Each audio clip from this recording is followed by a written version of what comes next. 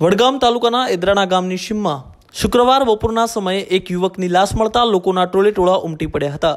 જોકે ઘટનાની જાણ થતાં છાપી પોલીસ ઘટના સ્થળે પહોંચી તપાસ હાથ ધરી હતી.